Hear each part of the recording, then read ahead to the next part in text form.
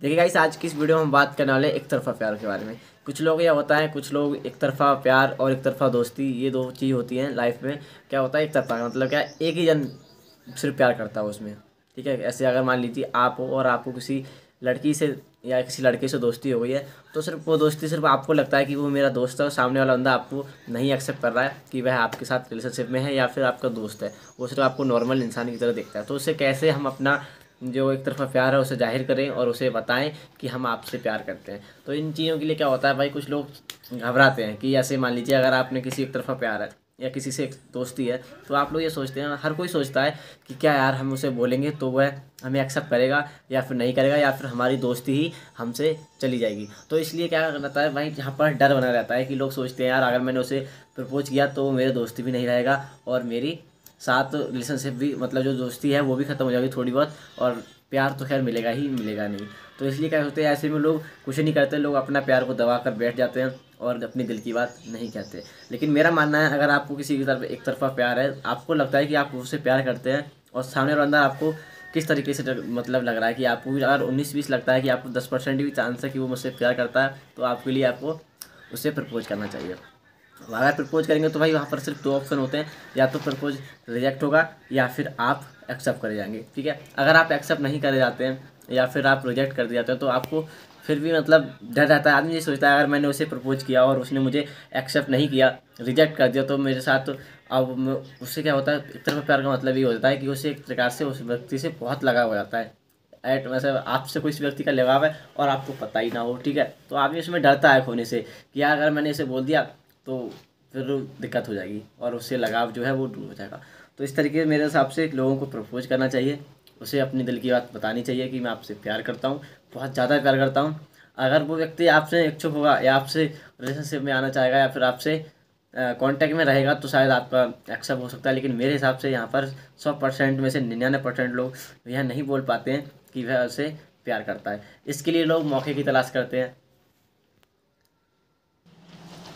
तो यहाँ पर मौका ये रहता है कि लोग सोचते हैं कि यार किस टाइम हमने ये करना है, ठीक है? तो उसके लिए मैं बताऊँ, देखो दोस्तों, यहाँ तो इस तरीके से डर ना बने रहे, या बिना डर के ऐसे करना है। देखिए, आपको जो व्यक्ति से प्यार है तो उसे ज़ाहिर मत कीजिए, ठीक है? आप उससे काफ़ी लॉन्ग टाइम से प्यार करते हैं, आपके लिए अच्छा लगता है व्यक्ति तो उसके लिए आप थोड़ा सा वेट और करें।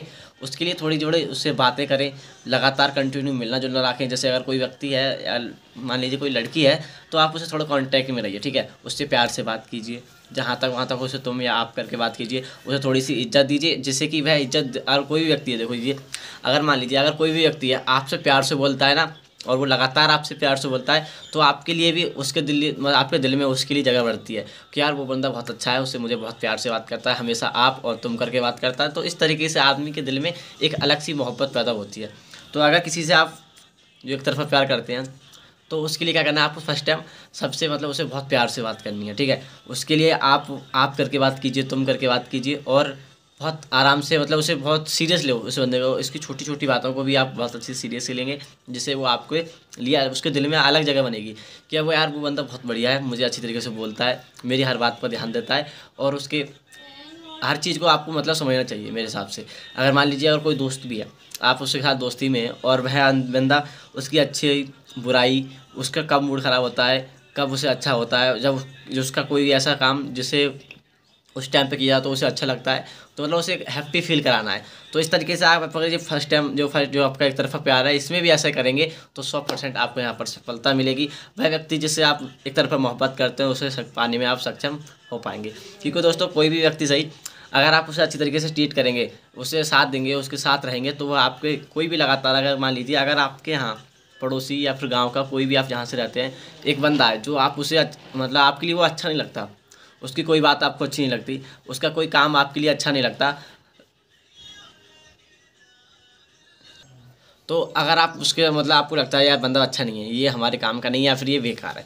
तो मेरा मानना है, उस व्यक्ति के साथ आप कहीं तीर्थ यात्रा पर जाइए। या फिर कहीं लॉन्ग ड्राइव पे जाइए, जिससे कि मतलब जहाँ काफ़ी टाइम तक आपके साथ वह रह सके, ठीक है? मतलब मान लीजिए आपको सात आठ दिन उसके साथ बिताने हैं तो भाई मेरा मानना है, वो व्यक्ति तुम्हें जो बेकार लगता है ना, उसके साथ रहोगे तो आपको एक अलग सी सीख मिलेगी और उस बंदे से आपको बहुत अच्छी तरह परिचित हो जाएँगे कि यार ये बंदा मैं ऐसे सोचता था, लेकिन ये बंदा ऐसा नहीं है। तो ज़्यादा साथ रहने से, लगातार कंटिन्यू पास में रहने से क्लोज रहने से आने जाने से बोलते हैं दोस्ती बनती है, कहीं जाओ आओ जाओ तो प्यार बढ़ता है। तो ये सच बात है। अगर मान लीजिए कोई भी व्यक्ति, आप उसके साथ नहीं बोलेंगे, अगर कोई व्यक्ति सामने खड़ा है और वह खड़ा है तो तुम उससे बोल नहीं रहे हो। जब तक तुम उससे नहीं बोलोगे तो वो आपसे जान पहचान नहीं होगी। जब आपसे जान पहचान नहीं होगी तो कोई मतलब ही नहीं है, ठीक है? आप उससे बोलो। अगर पहली बार आप बोलते हो, कोई दिक्कत हुई ना, आप किसी से भी कुछ बोल सकते हैं हाई हेलो, कुछ भी बोलिए। वो बोलेगा आपसे, ठीक है? तो ही तो जान पहचान बनती है तो ही तो दोस्ती बनती है। ऐसे ही फ़र्स्ट जो लोग होता है एक तरफा प्यार, ये ऐसा ही होगा। अगर किसी बंदे से आप मन मन में प्यार कर लिया यार, उससे मुझे बहुत अच्छी है मुझे लगा है और वो उसका सूरत देख के मोहित हो गया, और वह बंदा मुझे अच्छा लगता है। अब मैं उसे कैसे पाया जाऊँ? तो उसे पाने का यही तरीका है, उससे बातें करो। ज़्यादा से ज़्यादा उसे टाइम देने की कोशिश करो। अगर वो आपसे मिल नहीं मिल पाते तो कोशिश करो कि उसे मैं बेस्ट दूँ अपना। ऐसे ही कुछ लोग होते हैं जो सोचते यार, एक तरफा प्यार है, प्यार तो है, लेकिन कुछ बोल नहीं पाते, ना उसके साथ टाइम बिताना चाहते हैं। मतलब बिता ही नहीं पाते कुछ लोग ऐसा भी होता है। मेरा मानना है, अगर उसके साथ थोड़ा सा, अगर आपको एक दिन में, दो दिन में, हफ़्ते में कुछ टाइम मिलता है तो उससे वो टाइम दें, उससे बातें करें। उसके लिए अपने तरीके मतलब आकर्षित करें कि हाँ यार, मैं उसे प्यार भी करता हूँ थोड़ा थोड़ा अपनी बातों में उसे उलझाएँ और ये जानकारी भी दें। तो मेरा मानना है कि ये एक तरफा प्यार होता है, वो दो तरफा हो सकता है। तो देखिए दोस्तों, आज की इस वीडियो में बस यहीं तक। वीडियो बहुत अच्छा लगा हो आपके लिए तो वीडियो को लाइक करें, चैनल को सब्सक्राइब करें। मेरे हिसाब से वीडियो मैंने आपके लिए सही बताया कोई भी व्यक्ति है, उसे आप अपने प्यार के बारे में बता सकते हैं। इस तरीके से आप उसे अपने असर आखिर से कर सकते हैं और एक अच्छे लॉन्ग टर्म रिलेशनशिप में रह सकते हैं। तो इस वीडियो में सही तक। वीडियो अच्छा लगा हो तो वीडियो को लाइक करें, चैनल को सब्सक्राइब करें।